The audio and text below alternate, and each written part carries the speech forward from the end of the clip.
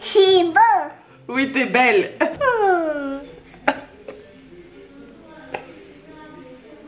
Un des autres avantages du make-up minéral, c'est que mais quand les petites veulent jouer, on peut les laisser jouer avec et je peux maquiller mes filles euh, sans, euh, sans aucun souci.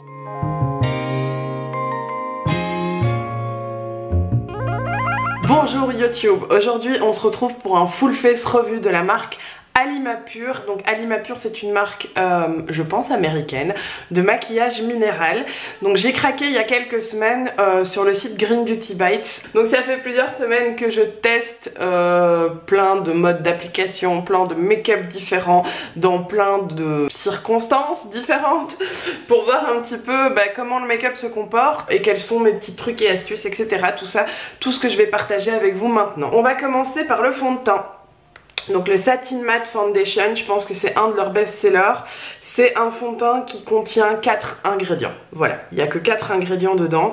Donc c'est hyper minimaliste, c'est parfait pour les peaux très sensibles. Euh, c'est parfait aussi pour les peaux euh, à imperfection, puisque le maquillage minéral, c'est un maquillage qui non seulement ne va pas euh, obstruer les pores et favoriser l'apparition de nouvelles imperfections, mais en plus en général qui contient des, ingrédients qui sont un peu asséchants et parfois légèrement purifiants. Et donc c'est un maquillage, c'est vrai qu'on a tendance à euh, conseiller à ces peaux-là. Donc j'ai pris la teinte Warm 3 parce que la Warm 2 avait l'air trop claire et que euh, la teinte que je voulais qui était la beige 2 ou la beige 3 euh, n'était plus en stock et je voulais pas attendre. Donc j'ai pris la Warm 3 j'avais déjà entendu parler du fait de mélanger euh, la poudre minérale avec un peu de, de crème hydratante pour faire une sorte de crème teintée et euh, moi j'ai la peau très sèche et du coup c'est vrai que les fonds de teint minéraux c'est pas mes favoris à la base. Mais là euh, grâce à Steel Blut, je pense que son vrai nom c'est euh, Veronica. donc c'est une créatrice de contenu sur Instagram qui est allemande si je me trompe pas, qui fait des photos magnifiques, elle est photographe je pense. et elle a présenté ce petit truc là dans ses stories et je me suis dit ah ouais on va tester. Euh, et, je vous ai un peu teasé sur mon Instagram en vous disant que j'avais un petit secret pour, euh, pour avoir du glow avec euh, mon fond de teint minéral. Et le secret c'est en fait une huile. Donc au lieu de mélanger le fond de teint minéral à une crème hydratante ou de l'appliquer donc si on voulait l'appliquer de manière classique on prendrait un pinceau euh, kabuki ou alors un pinceau assez dense. Moi pour les fonds de teint minéraux j'aime beaucoup le 104 Buffer de chez Zoeva qui est très dense comme ça et qui est un peu plat. Et donc ce qu'on ferait c'est qu'on viendrait chauffer les pigments en tournant dans le capuchon, en bien les écraser avec le pinceau et puis on viendrait appliquer en mouvement circulaire sur la peau pour bien fondre les pigments à la peau. Euh, donc ça c'est la manière classique que vous avez déjà probablement vue. Euh, et euh, ici on va faire une autre manière. Donc je vais prendre mon huile. Donc moi j'ai choisi l'huile de Squalan parce que c'est ma préférée. Et je vais mettre 3-4 gouttes. Et je vais venir mélanger, reprendre mon pinceau que j'avais là tout de suite. Donc moi j'ai pris le buffing brush de Cheryl Techniques. Et je vais venir mélanger mes petits pigments avec euh, mon huile. Et donc en fait je vais me créer ma tinted face oil sur mesure. Et ensuite on va venir donc l'appliquer sur la peau. Donc vous voyez il est légèrement trop euh, chaud trop jaune pour moi. J'aurais dû avoir vraiment le beige. Mais ça va, j'arrive à le faire fonctionner, franchement, moi ça me dérange pas plus que ça. Surtout que la couvrance est modulable avec ces fonds de teint, euh, mais moi j'aime bien en appliquer vraiment un, léger, un léger voile et puis venir corriger avec euh, ce qui a besoin d'être corrigé avec un, anti-cerne. Au niveau des couleurs, chez Alima Pure, vous avez plusieurs gammes, il y a énormément de choix. Euh, il y a quand même quelques teintes foncées, il y a beaucoup moins de choix pour les teintes foncées que pour les teintes, euh, que pour les teintes claires, comme malheureusement très souvent dans, dans la Green Beauty. mais malgré tout, ça reste quand même, je pense, un des plus grands choix en termes de teintes sur le marché. Euh, ils ont les sous-tons euh, cool qui sont vraiment des sous-tons très froids, euh, très rosés. Il y a le neutral qui est un faux ami parce qu'il n'est pas vraiment neutre en fait, il est plutôt légèrement rosé froid aussi. Euh, mais moins que le cool. Il y, a la, il gamme beige qui était celle que je voulais moi, qui est neutre vraiment, euh, donc sans sous-ton, euh, vraiment sous-ton neutre, sous-ton beige. il y a la, la gamme warm, donc celle que j'ai, qui a des sous-tons plutôt dorés. Et puis il y en a encore une, je me rappelle plus son nom, pour des sous-tons olive, les teints vraiment méditerranéens en fait. donc voilà, ça c'est super cool. Donc voilà le résultat qu'on obtient euh, de cette manière. Je vais vous zoomer un petit peu pour que vous voyez un peu le résultat sur la peau et comme c'est naturel. Donc voilà, là j'ai euh, une couvrance qui est, euh, légère à moyenne. Vous pouvez bien sûr augmenter la couvrance selon ce que vous aimez. Moi je préfère garder une couvrance plus légère et puis venir corriger par endroit avec un, un anti-cerne. Mais vous voyez, on voit vraiment bien euh, le grain de la peau, on voit euh, le glow, il y, a un, glow et ça reste confortable tout au long de la journée en le portant comme ça, j'ai pas eu de soucis malgré le fait que j'ai une peau déshydratée très sèche. donc voilà. Et ça atténue quand même mes rougeurs de, la rosacée et ben, ça fait un joli teint unifié et une belle base pour, pour la suite du maquillage. Euh, donc, je n'ai pas d'anti-cerne Alima Pure. Ils en ont. Euh, ils ont un anti-cerne version crème. Euh, dans un petit pan que vous pouvez acheter soit dans le packaging soit en version rechargeable et ils ont aussi un anti-cerne minéral, correcteur minéral, ils en ont plusieurs d'ailleurs il y a des correcteurs de couleur et tout c'est assez cool mais j'ai aucun de ceux-là donc ce que je vais faire c'est que je vais me corriger les cernes et les quelques boutons que j'ai euh, encore de ma mauvaise période du mois et euh, me faire les sourcils avec un gel à sourcils et puis on se retrouve juste après pour la suite du make-up. Voilà, j'ai juste mis un tout petit peu d'anti-cerne ici et sur les quelques boutons que j'avais ici et, euh, je trouve que c'est suffisant en fait, c'est très léger mais le teint est unifié, il est, il, est lumineux, il, il est bien. voilà. Donc, on va continuer avec une petite poudre. Alors moi je suis pas... Je suis pas très poudre. Euh, ça, je l'avais pas acheté, le fond de teint, je l'avais acheté, mais ça, c'est Anne qui me l'a glissé dans le colis. Et au début, je me suis dit, euh, une poudre de finition. J'ai la peau sèche. Alors, déjà, le fond de teint minéral, euh, j'avais envie de tester, mais j'appréhendais un peu. Mais alors la poudre de finition, je me suis dit, oh, je vais trop pas l'utiliser, ou en tout cas si je l'utilise, à mon avis, ce sera pas couplé au fond de teint minéral. Et puis finalement, si, vous voyez, il faut jamais dire jamais. c'est la Radiant Finishing Powder en teinte Olympia. Et donc en fait c'est une teinte beige mais lumineuse qui est pas irisée mais qui reflète vraiment très bien la lumière et, euh, le rendu est vraiment très très joli sur la peau. Euh, très naturel. Alors honnêtement j'ai testé plusieurs marques euh, de maquillage minéral. j'ai testé Everyday Minerals dont j'ai parlé dans ma vidéo des fonds des fonds de teint bio, je vous la remettrai si j'y pense. Euh, j'ai testé euh, Lily Lolo en échantillon, j'avais acheté à l'époque, euh, j'avais pas aimé. Ivry des minérales j'aimais bien, mais Lily Lolo j'avais pas aimé, je trouvais que la, poudre était moins fine et se voyait plus sur le visage.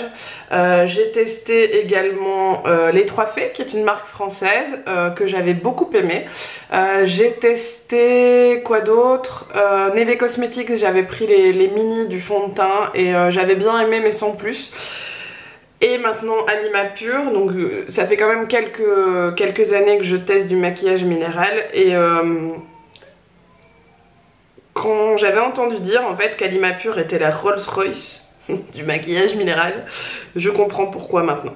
Je comprends parce que malgré des compos qui sont extrêmement minimalistes comparés à d'autres marques, puisqu'on retrouve que 3-4 ingrédients en général par produit, euh, les poudres sont tellement fines et la qualité est, dingue, c'est juste dingue. Euh, donc voilà. Donc, euh, gros coup de cœur pour aller ma pure. Et je vais poser la poudre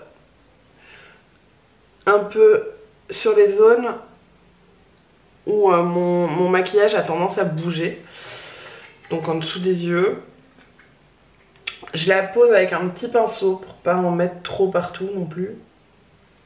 Un petit peu sur la zone T. Et alors ici, moi j'ai tendance à me toucher le bas du visage et, que du coup, euh, du coup tous mes produits teints ont tendance à avoir une durée un peu moins longue là. Donc j'aime bien... Euh, J'aime bien un peu euh, fixer le bas de mes joues. Alors je n'ai pas de bronzer à l'immature mais euh, j'ai prévu de m'en commander un. j'ai tellement aimé tous les produits que maintenant j'ai envie de compléter un peu, euh, compléter un peu la collection. par contre j'ai un blush que je trouve sublime. Donc c'est le Satin Matte Blush. Donc il n'est pas irisé celui-ci, il est mat. et c'est la, la couleur Honey Rose. Donc toujours le même principe, on en met un petit peu dans le capuchon, on vient tourner son pinceau pour bien écraser les pigments et les disperser dans les poils du pinceau. Donc là j'utilise le contour brush de Real Techniques et on vient appliquer le blush de manière très légère.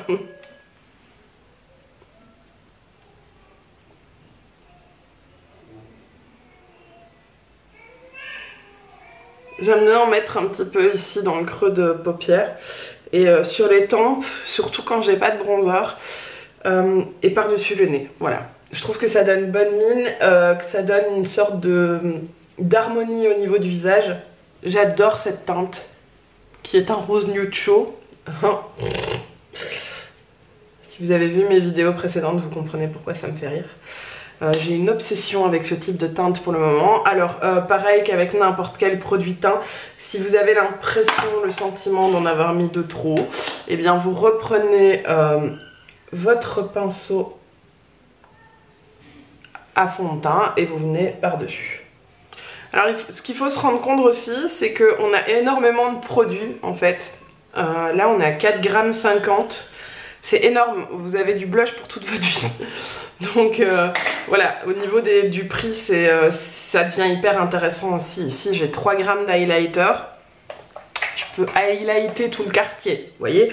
Donc en highlighter, j'ai choisi la teinte Lumina. Euh, il y en a plusieurs autres. Ils ont tous l'air canon, honnêtement. Il y a la teinte Rose Gold qui a l'air superbe. Mais j'ai choisi un classique. Euh, voilà, Lumina c'est la teinte qui conseille notamment euh, pour les mariés. Parce que c'est une teinte assez neutre et qui est modulable. Qui peut, euh, aussi bien être appliquée de façon très légère et naturelle comme de façon plus intense. Je sais pas si vous voyez le glow naturel que ça donne. C'est pas l'highlighter de, de fou à la Fenty qui se voit depuis l'espace. Mais ça vous donne un glow naturel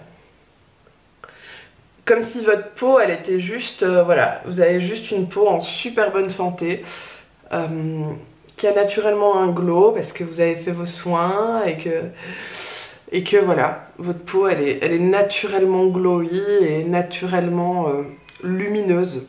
Alors j'ai deux types de fards à paupières de chez Alima Pure. Donc il y a les fards pressés euh, qui sont euh, soit euh, disponibles dans un petit packaging noir très mignon, très slick, les packagings sont super classe chez Alima Pure. soit qui sont disponibles en recharge, donc vous achetez juste le, refill qui est à l'intérieur. Et ça j'aime beaucoup aussi. Donc on va, on va essayer de faire un make-up qui change un petit peu. Je vais utiliser d'abord le fard pressé qui est le fard luxe. Et je vais l'appliquer sur toute la paupière mobile. Donc niveau pigmentation c'est excellent. Hein. Et je vais venir faire une forme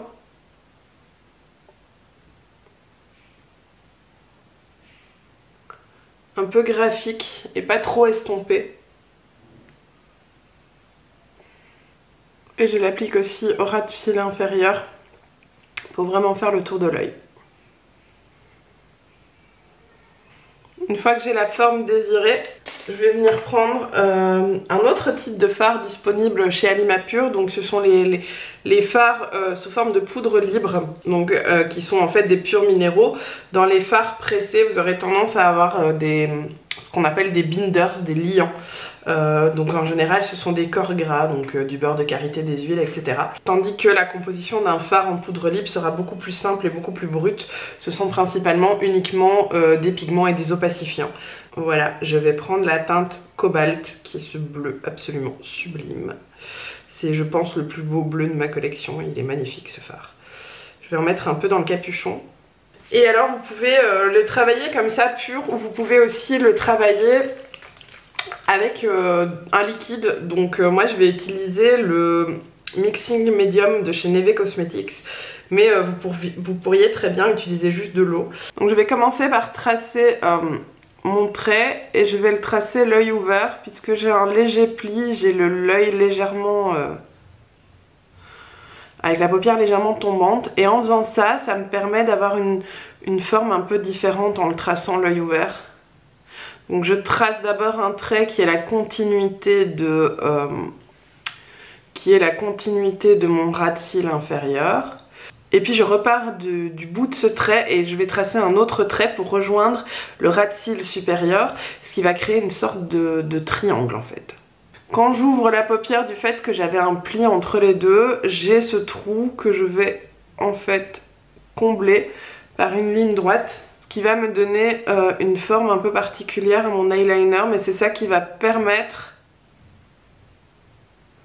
d'avoir euh, euh, cette, petite virgule qui est très nette et très précise et qu'on voit très bien même quand j'ai mon œil ouvert malgré le pli de la paupière. Le long du ray des cils supérieur.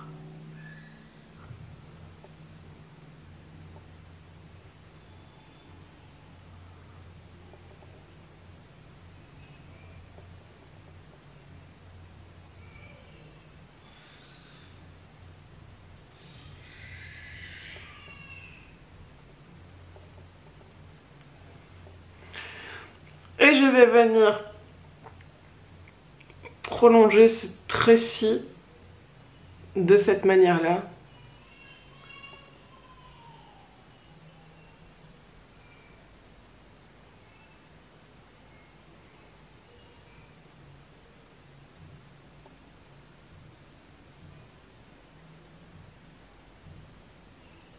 Je vais également venir faire une forme euh, au coin interne.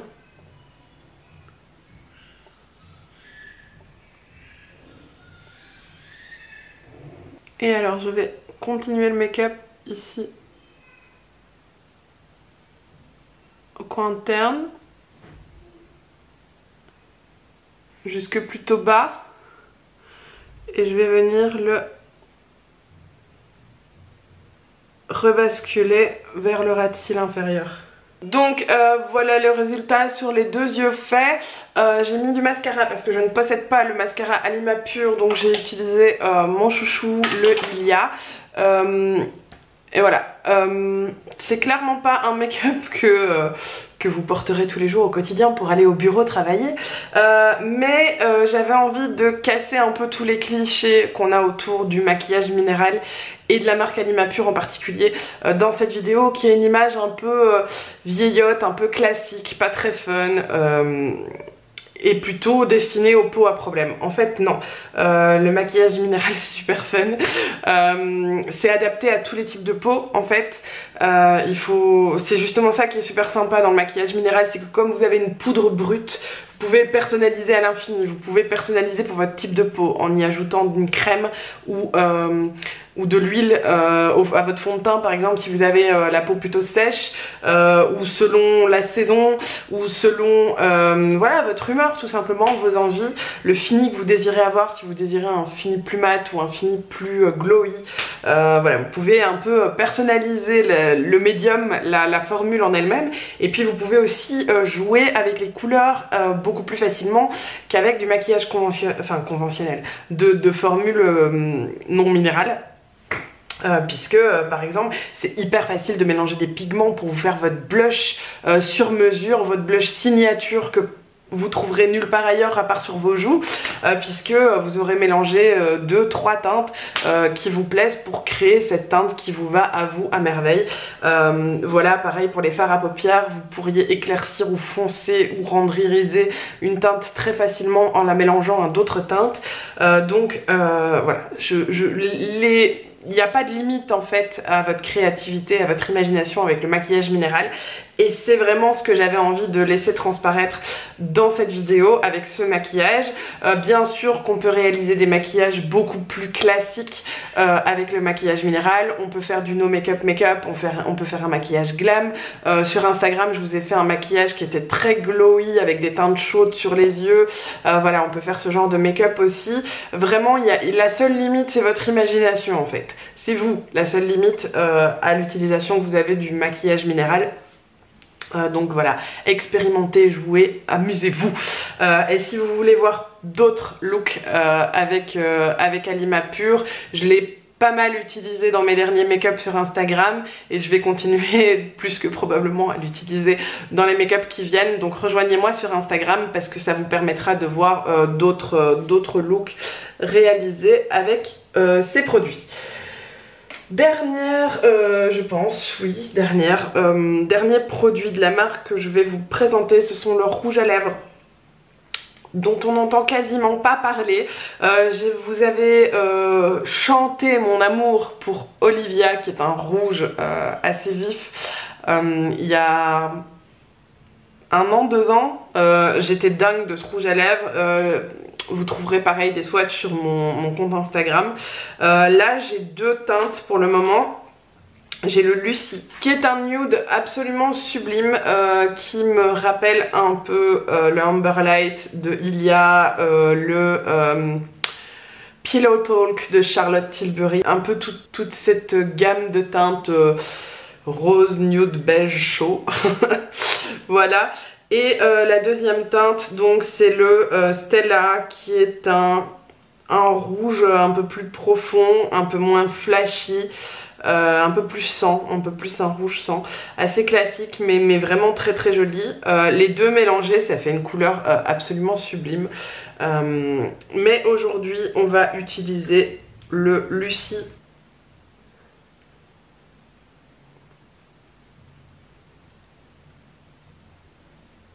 Alors ce sont des rouges à lèvres avec un fini mat mais qui pour autant ne sont pas asséchants, qui ont sont vraiment confortables sur les lèvres, très agréables à porter. Cette couleur, euh, Lucie, je la porte euh, quasiment non-stop depuis que je l'ai reçue. Je, trouve ce rouge à lèvres absolument sublime. Euh, il va avec tout, il est facile à mettre, il est confortable, il tient longtemps. la couleur est, vraiment parfaite. Donc voilà le résultat de ce petit maquillage 100% pigments minéraux, 100% Alima pur. Voilà, j'espère que cette vidéo vous aura plu, euh, qu'elle vous aura donné envie de découvrir euh, le maquillage minéral autrement. Euh, voilà, qu'elle vous aura aidé peut-être dans vos choix, qu'elle aura répondu à vos questions. Si ce n'est pas le cas, n'hésitez pas à me les laisser en commentaire ou bien sur Instagram ou en message privé. voilà, j'y répondrai avec un, un grand plaisir. en attendant prenez soin de vous. Je vous fais des gros bisous et je vous dis à bientôt dans une prochaine vidéo. Ciao ciao Ryan Little